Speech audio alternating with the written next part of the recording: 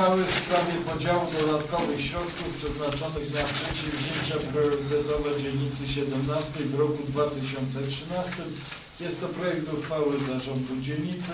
Jak Państwo doskonale wiecie, w budżecie miasta na rok 2013 y, przeznaczono dodatkowe 60 tysięcy dla każdej z dzielnic w ramach zadań priorytetowych i dlatego też zarząd zaproponował Państwu rozdział tych środków w sposób taki, jaki jest zawarty w projekcie uchwały.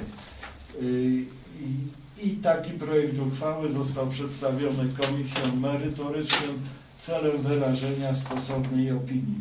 W tej sprawie wypowiadały się Komisja Kultury oraz Komisja Budownictwa, może kobieta ma pierwszeństwa. To bardzo proszę o opinię Komisji Kultury. Komisja Kultury pozytywnie zaopiniowała projekt tej uchwały w tych punktach, które dotyczą Komisji. Bardzo dziękuję. Komisja Budownictwa. Komisja Bud- Budownictwa jednogłośnie pozytywnie zaopiniowała swój punkt. Dziękuję bardzo.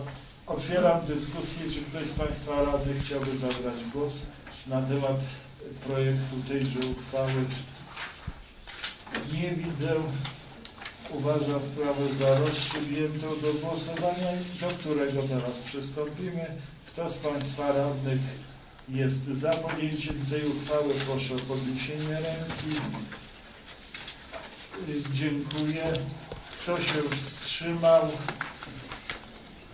Kto był przeciw?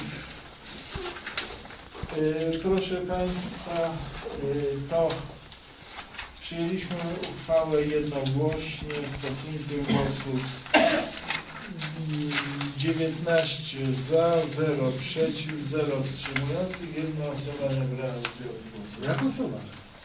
Nie widziałem Twojej ręki. Głosowałeś.